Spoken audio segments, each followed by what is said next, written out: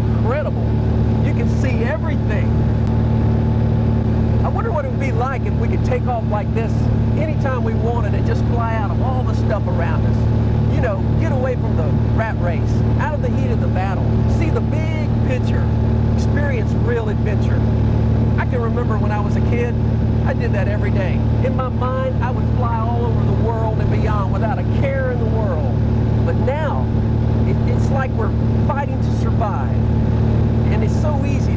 into that trap of just existing.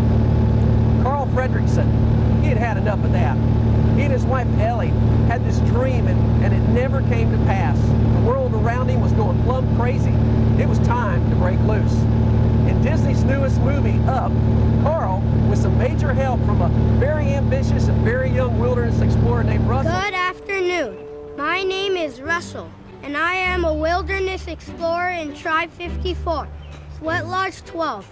Are you in need of any assistance today, sir? discovers that escaping can be one dangerous and scary proposition. It all starts when he decides to fly right out of the world, literally. In the process, Carl and Russell find out what life's all about. Beep, beep, beep, boop, boop. With my Wilderness Explorer GPS, we'll never be lost.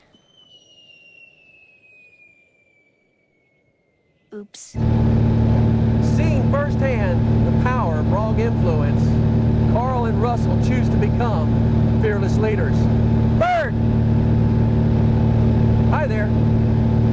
You and I have the opportunity to become a fearless leader every single day. How? Because you have influence. We all live in different spheres and circles, but every one of us has influence. You've got influence in your workplace, in your family, with your kids, in, in your community group, at school, in your neighborhood.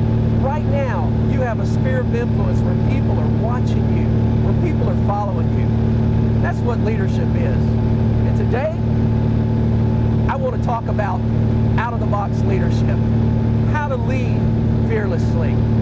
And I know some of you are probably thinking, Randy, I'm not a leader. Guess what? You are.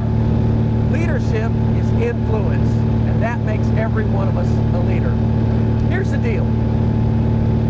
You and I can become a fearless leader if we choose to leverage the influence that God has given us in our own spheres and circles for Him. There's a guy named Joshua who fleshed this out in a very real way. Joshua became a leader, and what I love most about Joshua is that he achieved the impossible against incredible odds. I mean, his life was one gigantic battle, one battle right after another. Some of you might be saying, hey, that's me. But Joshua, with all that he faced against all odds, he never quit. Today, we're going up. And we're going to see more timeless principles that once applied in our lives will take us right out of this world into a whole other level of living.